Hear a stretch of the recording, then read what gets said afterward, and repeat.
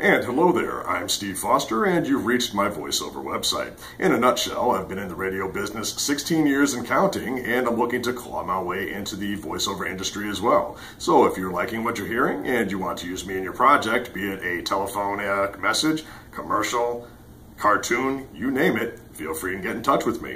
You can get me through cell phone or by email, and I look forward to working with you. Thanks again.